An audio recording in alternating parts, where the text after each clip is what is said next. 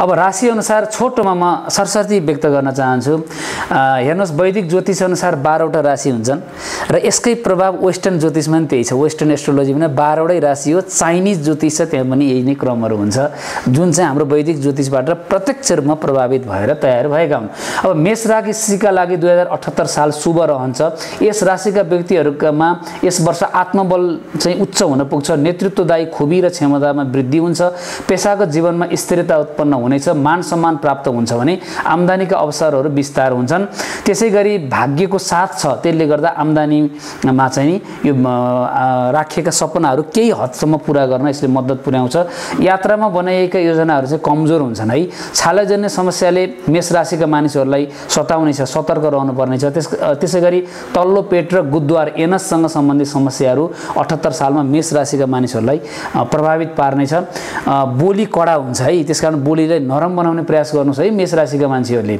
भनेदेखि बोलीलेमा नरमपना ल्याउन ल्याउन सक्नुभयो भनेदेखि चाहिँ अब यसले बोलीको प्रभावलाई चाहिँ बिग्रिन दिने छैन।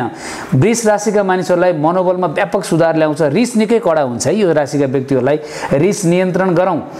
रिस खा आफू बुद्धि खा अरू भन्छ। त्यस कारण रिसलाई नियन्त्रण गर्ने प्रयास गर्नुहोस्। आम्दानीको क्षेत्रमा सोचे जस्तो वृद्धि अलि हुँदैन। ठिक त्यसकारण ठिक्क महत्त्वकाङ्क्षा र सपनालाई चाहिँ ध्यान दिनुहोला। मूत्रनली गुद्वार एनससँग सम्बन्धित समस्या तल्लो पेटसँग सम्बन्धित स्त्रीहरूको हकमा प्रसुतिसँग सम्बन्धित पनि हो यो ख्याल गर्नुहोला। विदेश यात्रातर्फको सम्भावना अलिक फराकिलो बन्छ विष राशिका व्यक्तिहरूलाई। भाग्यको साथ रहनाले आँटेका कामहरू र पेसा व्यवसायमा सफलता प्राप्त हुनेछ।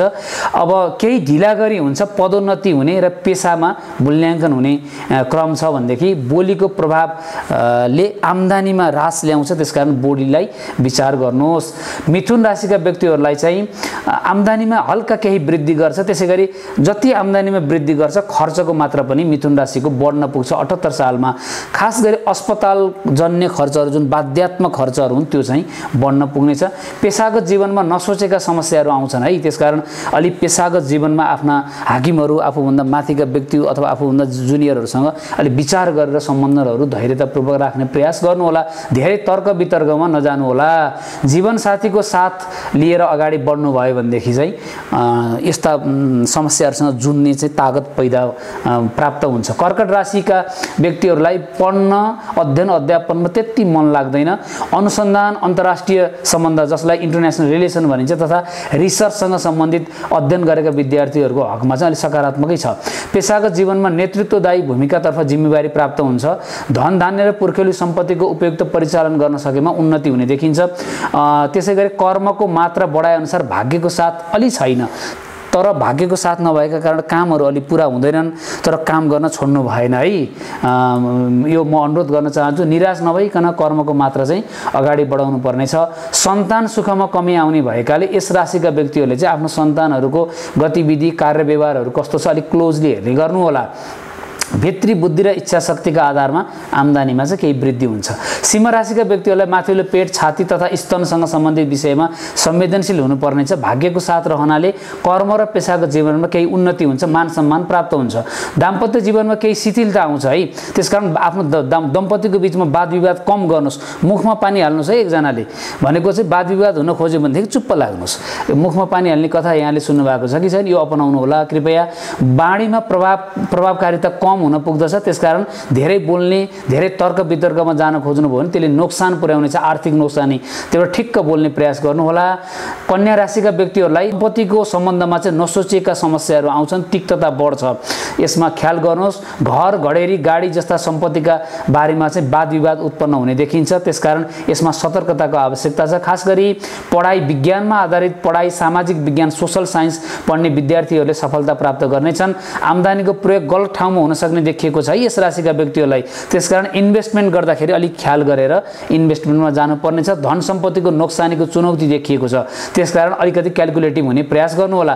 तुला राशिका व्यक्तिहरूको लागि आफ्नो बोलीले गर्दा वाद विवादमा फसाइदिनेछ त्यसकारण बोलीलाई समय अपनाउनु शत्रु वृद्धि हुन जान्छन्। अनि त्यसै गरी मुद्दा मामिलाहरू छन् नि जुन चलिराखेका वाद विवाद मुद्दा मामिलामा आफू कम कमजोर हुने स्थिति देखा परेको छ। घर घडेरी तथा वाहन सुख भने प्राप्त हुन्छ। जीवनसाथीको साथ साथका कारण आम्दानीमा बढोत्तरी हुन पुग्नेछ। त्यसै गरी जीवनसाथी कतिपय कुराहरूमा चाहिँ आफ्नो श्रीमान भए श्रीमतीलाई श्रीमती भए श्रीमानलाई नेतृत्वदायी क्रममा अगाडि बढाइदियो भने फाइदा हुन पुग्छ।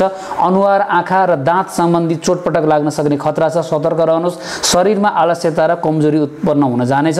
आवश्यकता परेको हकमा मेडिकल हेल्प पनि लिनु होला है त्यस राशिका व्यक्तिहरूले। वृश्चिक राशिका व्यक्तिहरूलाई जीवन जगत प्रति हेर्ने दृष्टिकोणमा अलिक नकारात्मक भावना आउनेछ। है त्यसकारण योग प्राणायामहरूमा ख्याल ध्यान दिइदिनुहोस् यो अपनाउनुहोस् जसले गर्दा व्यक्तिलाई सकारात्मक दृष्टिकोण चाहिँ विकास हुन्छ।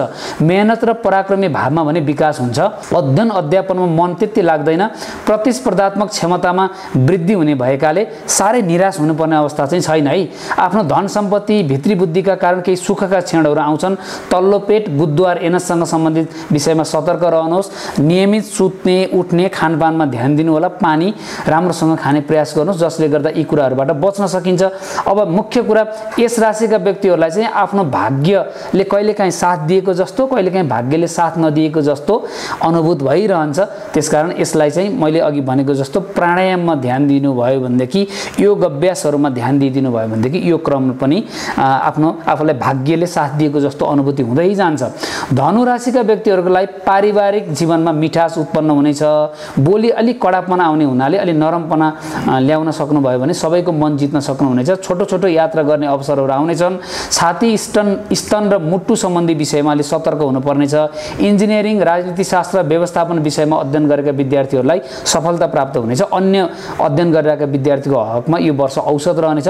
प्रतिस्पर्धात्मक क्षमतामा विकास हुनेछ। अब मकर राशिका व्यक्तित्वहरूलाई व्यक्तित्वको निखारता आउनेछ। अर्थात् बोल्ड पर्सनालिटी हुनेछ। तर रिस बढी हुन्छ है। हजुर रिस नियन्त्रण गर्नेतर्फ जानु होला आम्दानीमा वृद्धि हुनेछ। विज्ञान प्रविधि सूचना प्रविधिको क्षेत्रमा संलग्न भएकाहरूको हकमा कमाइमा आम्दानी हुनेछ। मेहनत र पराक्रमी स्वभावमा केही शिथिलता आउँछ। भनेदेखि अर्को आंशिक सुखहरू प्राप्त हुन्छन् तर त्यो अलिक टिकाउ हुँदैन है। टिकाउ कसरी बनाउन सकिएला त्यसमा प्रयास गरौँ। कुम्भ राशिका व्यक्तिहरूलाई पारिवारिक जीवनमा तनाव आउँछ। राम्रै भन्न खोजे तापनि आफ्नो नाता कुटुम्ब परिवारहरूमा चाहिँ त्यो आफूले भन्न खोजेका कुराहरूप्रति नकारात्मक दृष्टिकोण हुन्छ। त्यसकारण अलिक मिलाएर बोल्ने मिलाएर त्यो कुरालाई सबै बुझाउने गरी भन्ने प्रयास गर्नु होला आफ्नो नाता कुटुम्ब परिवारका सदस्यहरूलाई ज्ञानको भावमा वृद्धि हुन्छ भने धन सम्पत्ति महत्त्वकाङ्क्षाको उचित संयोजन गर्न सकेमा चाहिँ सफलता मिल्ने देखिन्छ।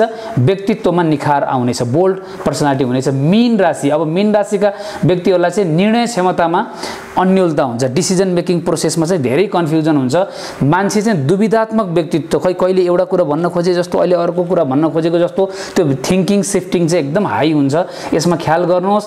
आम्दानी सोचे जस्तो हुँदैन। त्यस कारण निराश नभइकन आशावादी ढङ्गबाट मेहनत गरिरहने प्रयास गर्नु होला बोलीमा अलिक कडापन हुन्छ जसका कारण पारिवारिक द्वन्द्व चर्किन पुग्छ है हजुर। त्यस कारण बोलीलाई नरम बनाउने प्रयास गरौँ गरौँ धर्म संस्कृतिप्रति। कहिले विश्वास भएको जस्तो र त तुरुन्तै धर्म संस्कृतिप्रति विश्वास नभएको जस्तो देखिन्छ। पेसागत सिलसिलामा देश विदेश अथवा यात्रा गर्ने सोच चाहिँ नै आउँछ र त्योतर्फ केही प्राप्तिहरू हुनेछन्। यसरी बाह्रवटा राशिको लागि चाहिँ दुई हजार अठहत्तर साल यस्तो रहनेछ।